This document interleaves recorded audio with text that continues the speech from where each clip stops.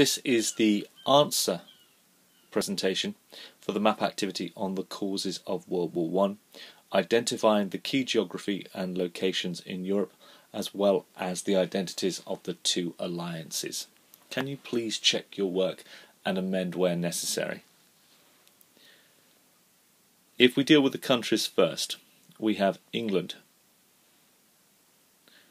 Then we have the Baltic Sea and Russia, Germany, France, Austria Hungary, the Black Sea, Serbia, Greece, the Mediterranean Sea, and Portugal. Please replay the film and pause where appropriate.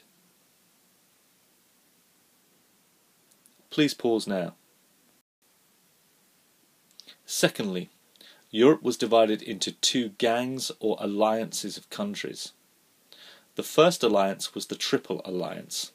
That will need to be colour coded and a key provided.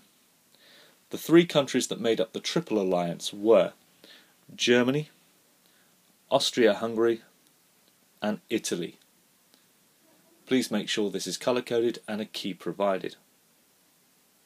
Please pause. The second alliance England, France and Russia. Please make sure you have color coded and provided your key.